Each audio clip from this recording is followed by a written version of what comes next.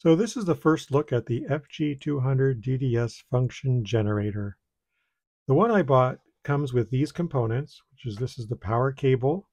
This is a BNC cable to connect to whatever you want. Another one that has the alligator clips that lets you connect to whatever you want to. And then this thing is, uh, they got little details here. It's a Schumann resonance uh, pad. It's kind of, they call it kind of like an antenna. But basically, you can read all these details later. Basically, it lets you kind of transmit a frequency that way. So I'm more or less going to go ahead and um, hook this up to my oscilloscope and we're going to see what the waveforms actually look like. How is the frequency response from low frequencies to high frequencies? Does it attenuate at all?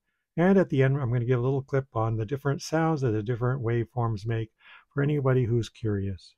I've got it hooked up to the input of my oscilloscope and hooked up to power and we'll power it on. So first thing it goes through says a couple of messages and then tells me what it's configured to do. It's got the waveform set as a sine wave at 1000 hertz. So there's no output into the oscilloscope at this point uh, until we hit the run stop button. That enables the output and you can see here and we now have a waveform of about 8 volts and at 1000 hertz. And this knob here will adjust the amplitude up and down. I found that the maximum it will go to is about 20 volts. You cannot adjust the frequency. All of these buttons are basically ignored while it's running with the run stop. And also this DC offset, that's how you can move the waveform up and down because uh, it applies a DC bias to the input. You also notice that it changed the uh, output. 9.92 volts versus the 8 volts that I had before. For our testing purposes, we don't need to use the bias. And this filter, um, I read, basically applies a filter so that at higher frequencies, the waveform looks more like a sine wave when you've got sine wave set. At this frequency, I don't think you're going to see any difference.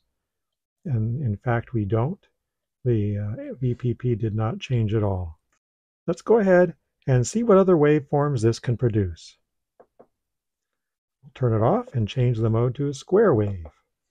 So that is now a square wave at 1 kilohertz. It'll do a triangle wave.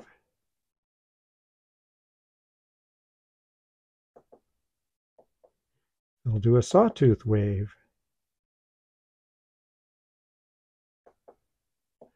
And a reverse sawtooth.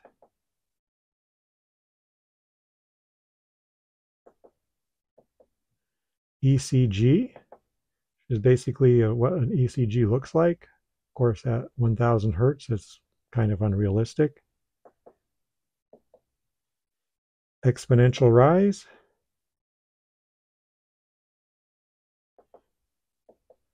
Exponential decay.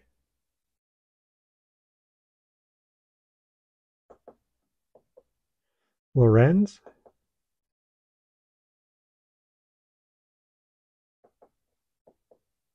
Gaussian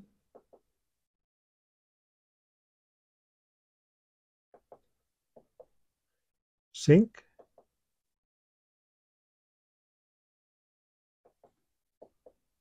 half wave. This would be like DC rectification for a half wave, one diode.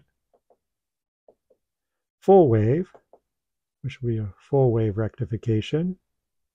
And notice the frequency went up to 2 kilohertz because when you do full wave from a sine wave, you do get twice the frequency. Schumann. This is a specific frequency that that antenna would be used for, for transmitting. And we can see there, it's 7.83 hertz. And it'll also do noise if you want to just see a noise uh, thing. This is probably not going to sync too well, and I guess the noise has a zero point in there once in a while. Okay, that's kind of a quick overview of the different waveforms that it can generate. Um, if you want to change the frequency, it, you have to have it stopped, and then you go to the digit you want to change, um, and you can go up and down for example, if I want to do 1100 hertz, I would just do plus and it would be 1100. and I can use the minus to go back down. This does decrement other digits as well. So if I go down again, because it's going to go from 1000 to 900 hertz, et cetera, et cetera. If I go 9, then one higher, it goes increments the next digit up. So for our purposes, let's go ahead and pick some higher frequencies. Since I want to use this for audio testing, and we saw that we were running uh, 8 volts peak to peak, let's go ahead and do something like uh, 10 kilohertz and see how that looks on here. All right, we can see that it was flat, 8 volts peak to peak from 1 kilohertz to 10 kilohertz. Let's go ahead and do go to 20, which would be a common place that people would measure. And that also is 8 volts peak to peak. Well, maybe a little less, 7.92. But basically, that's pretty flat at that point. And if we decide to go all the way up to, let's just say 50, we're going to get a little bit of attenuation. You can see here, 7.84 volts, um, but it's at 50 kilohertz. And let's go to uh, 100 kilohertz. See what that looks like. There's our sine wave. Still looks pretty good. There is a bit of attenuation. 200 kilohertz. And let's go ahead and just go up to the 500 kilohertz that it's rated for, and let's see what that looks like. Let's go back to the sine wave.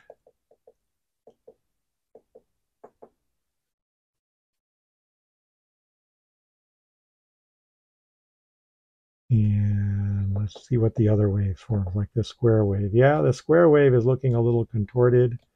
And you press that, and now you have a sine wave.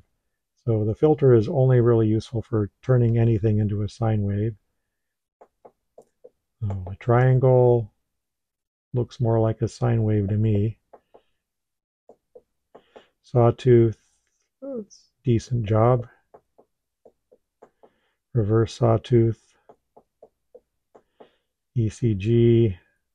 Yeah, you're losing some resolution here. Looks, let's synchronize that so it's not so flickery. Well, I guess not. Maybe increase the amplitude. I don't know. Interesting that it's showing me these different things. That's an easy one.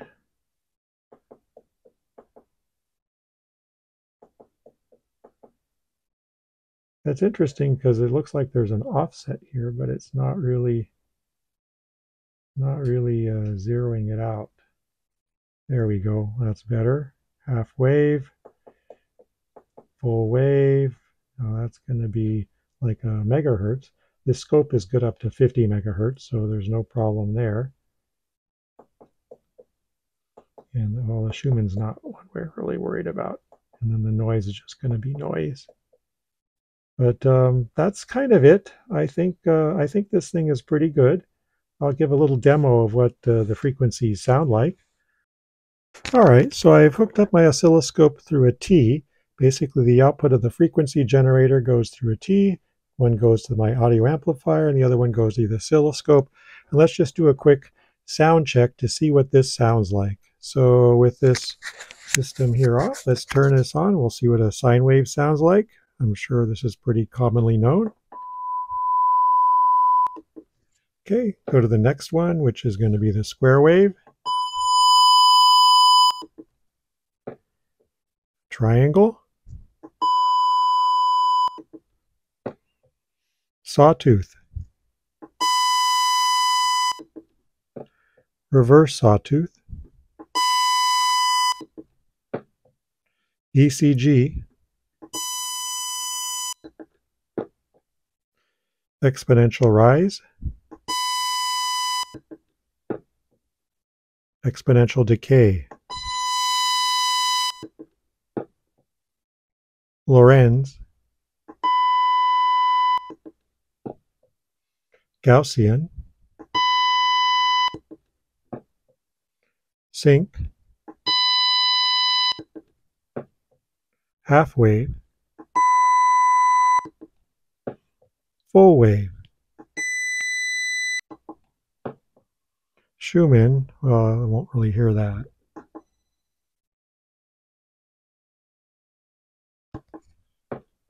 And then the noise. All right, that concludes this demo. Overall, I like the device. It's pretty small, pretty versatile, and can generate a lot of different frequencies and a lot of different waveforms. Thanks for watching. Please like and subscribe, and have a great day.